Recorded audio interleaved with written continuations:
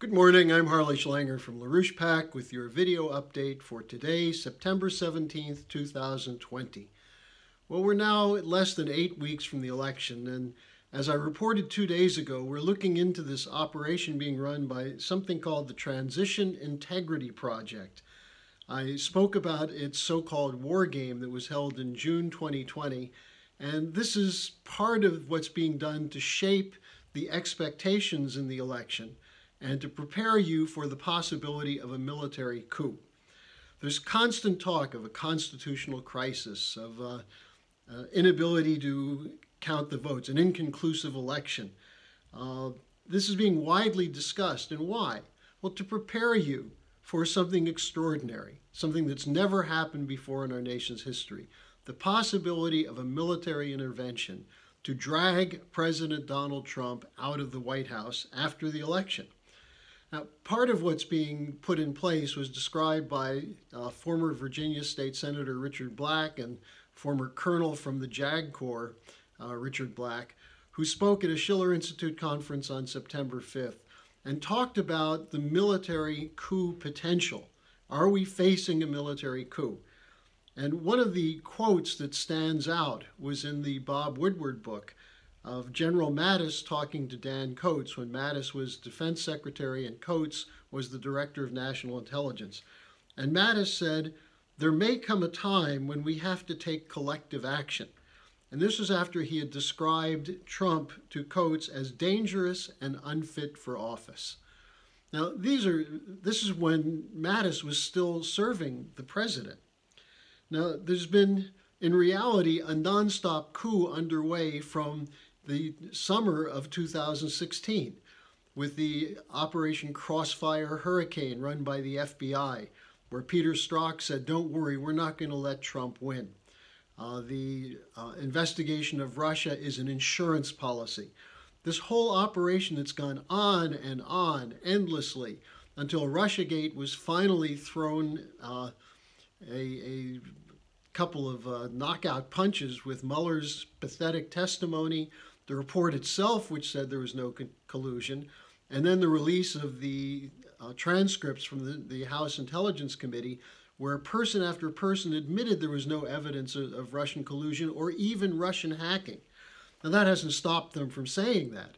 But then we had the Ukraine impeachment. We, we had the attempt to use the uh, racial justice issue with the uh, insurrection in the American cities being run by Antifa and Black Lives Matter, funded, by the way, in part by George Soros and the Ford Foundation. But if you say there's a coup underway, they call you a conspiracy theorist, uh, despite all the evidence that shows there has been a coup. Well, what about all the evidence free claims of Russian meddling? Why is that not a conspiracy theory? Well, in fact, it's true that the claims of Russian meddling are part of a conspiracy on behalf of what some people call the deep state, the military industrial complex, what we've identified specifically as the Obama intelligence community and the British MI6 GCHQ forces working together to run Donald Trump out of office. Now, you have to keep in mind what's the underlying issue here, and that is that Donald Trump came in as president with a commitment to break with imperial geopolitics, which meant ending the unending wars. It meant stopping regime change, where the unilateralists of the war hawks claim that they know better than the people of other countries what their government should be. And why are they doing this? They're protecting a bankrupt system, a system in City of London and Wall Street with backup at Brussels that's committed to a global austerity regime in order to bail out the worthless assets that have been created as new bubbles by the billionaires of Davos, Silicon Valley, and Hollywood. And so that's who's running this. It's run from the top, from using British intelligence and the US intelligence community on behalf of a bankrupt financial system. And the model that's now being used in the United States is that of color revolutions, this is now becoming also another topic of discussion. It was on Tucker Carlson the other night. Well, we've been warning about this as a color revolution for a long time. Uh, and, and what were the color revolutions initially? The operations in Eastern Europe, the so called Arab Spring, uh, the former Soviet republics, and now in Hong Kong against China, in Belarus, and also against Russia. And what's the common denominator behind these color revolutions? Well, one is George Soros and his Open Society. Soros is not just an evil genius, he's an operative of the City of London. How do you think he made his fortune? It was when the Bretton Woods system was broken and replaced by a floating exchange system that was favorable to speculators, Soros became a billionaire. And he's put his billions into these kinds of color revolutions. Uh, you have also these human rights groups, so called, the non government organizations, NGOs, or as LaRouche said, NGO stands for no good organizations. You have the war hawk Republicans of the John McCain type, people like Marco Rubio, Ted Cruz, uh, Tom Cotton, who pretend they're with Trump, but their actual policy is to undermine Trump's efforts to get negotiated collaborative agreements with Russia. And they work directly with the Democratic war hawks like Menendez of New Jersey and people like Schumer and Pelosi. So it's one party committed to defending the military industrial complex. Now let's look at the, the transitional or transition integrity project as an example. The chief person involved in this is Rosa Brooks, a longtime Soros operative. But we now have picked up some information on another key operative there, Norm Eisen, who is Obama's ethics, Obama's ethics czar. There's an oxymoron if you've ever had one, an ethics czar under Obama. But he was before that the head of the Citizens for Responsibility and Ethics in Washington. Guess what? Funded by George Soros' Open Society. The Citizens for Responsibility and Ethics in Washington had as its policy a fight to police social media, censor content, uh, content circulate fake news, and back impeachment. And Eisen himself drafted 10 articles of impeachment against Trump before Pelosi gave the go ahead. And Eisen himself was a participant in the June 2020 war games run by TIP, which is the Transition Integrity Project. Now, there's an article in the New York Times on August 2nd, which is sort of promoting TIP. It's written by someone named Ben Smith. Does that ring a bell? He's the former editor of BuzzFeed, which was the publication that brought Christopher Steele's dossier, the dirty dossier, the lying, fabricated dossier, to public attention before the FBI was able to prove that it was discredited.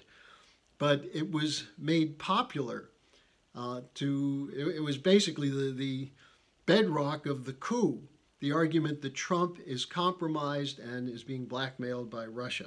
So that's the guy who wrote the article. Now, what it describes is that there's an election crisis. That it, uh, initially Biden was declared the winner, but as votes were counted over days and weeks, that was reversed and Trump was declared the winner. Now, in the war games, you know who plays Joe Biden? John Podesta one of the key people behind the whole Russiagate story. And what Podesta does as Biden is he says he's not allowed to, to concede because the Democratic voters won't let him. Well, where did we hear that argument from? That's what Hillary Clinton said. She issued marching orders to Biden. Under no circumstances must you concede, even if you've lost. Now, then the Podesta convinces the governors of two states, Wisconsin and Michigan, to send pro Biden electors instead of the Trump electors who were elected in this war game scenario. At the same time, California, Oregon, and Washington threaten to secede from the United States if Trump is declared president. Now, in this scenario, the House names Biden as president, the Senate names Trump. So the question then is who takes office? And the underlying question is what will the military do? And what's being pushed as a scenario is that the military comes in and escorts Donald Trump out. But what would this do? What would be happening in the streets? There would be chaos because the same Soros networks who are orchestrating this scenario are funding the insurrectionary mobs that are involved in burning cities, shooting at police, uh, torching police cars and police stations, that they would be unleashed for an all out war on the streets. And so the U.S. descends into ungovernability. Rather than allowing Trump, who could win if he continues to emphasize his opposition to these wars, his commitment to stopping the bailouts and ending the free trade agreements that are looting this country, if he runs with his 2016 policy and many of the things he's done since then, uh, he's likely to win the election because he's running against a guy who can't put two sentences together. The problem is that you have this operation in the works behind the scenes. Now, let's go back to Hillary Clinton. She tweeted something out yesterday. Now, listen to her words. She said, We can have democracy, or we can have social networks that allow the spread of weaponized disinformation about our elections. But we can't have both. Therefore, she calls on Facebook, Twitter, and Google and others to quote, act before the damage is done. In other words, censor. In other words, shape an environment where this scenario, the Transition Integrity Project scenario, can be brought to fruition. That's what we're facing. Now, how do you fight it? Two things. First, remember, go to the intent. They want wars. They want to continue the wars and the defense spending. We've got to insist that President Trump follow his instincts and meet with Putin, meet with Xi Jinping, have a summit before the election to resolve the crises that otherwise are going to spin out of control and take us into war. And secondly, full exposure of both the intent and who's behind the coup. The name, the names, the networks, British intelligence, the CIA, uh, people like Podesta, uh, Brennan, Clapper, Comey, bring them to trial. This has to be done. The only way to stop this scenario is to make it clear to people that it's a scenario to overwhelm our uh, population's desire, our, our, our nation's direction, and force us into ungovernability. And in that kind of crisis, we already have a security state that's in place that will police us and censor us. This doesn't have to happen. You can do something about it. So work with us at LaRouchePAC, get the story out, and do what you can to spread this word, including sharing this video. Thanks for joining me. Now, tomorrow is Friday, so I'll be taking your questions. If you have questions for me, send them to me at harleysch at gmail.com. Thank you and see you tomorrow.